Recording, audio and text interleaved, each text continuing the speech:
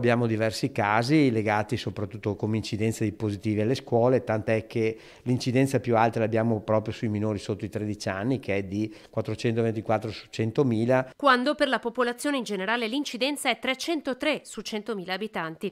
La riapertura delle scuole inevitabilmente ha contribuito alla diffusione del virus, sono oltre 200 i nuovi casi. 63 all'infanzia, 96 nella scuola primaria, 102 tra le classi superiori. Su 800 tamponi fatti di media al giorno il virus SARS-CoV è presente in una persona su due. Stanno aumentando anche i ricoveri in ospedale, il nostro RConT è 0,91. Eh, tra stanotte e stamattina abbiamo avuto 11 nuovi ricoveri di persone in malattie infettive, tutte persone anziane con pluripatologie. Liberi sì, ma quando si entra a contatto con i nonni è importante usare la mascherina FFP2.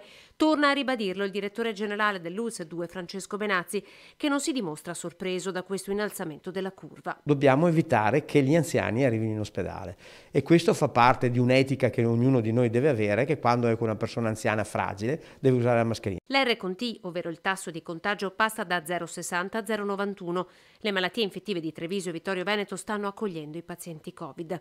E se la situazione per ora rimane sotto controllo, un importante aiuto potrebbe arrivare a breve dal vaccino anti-influenzale, soprattutto per i pazienti più fragili. Incontreremo la prossima settimana i medici di famiglia per partire anche con loro. È fondamentale vaccinarsi per l'influenza.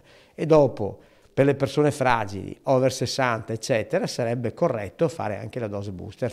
Un dato non meno importante rilevato dai sanitari sulle persone ricoverate questa notte per Covid. E la maggior parte di questi non ha fatto la dose booster.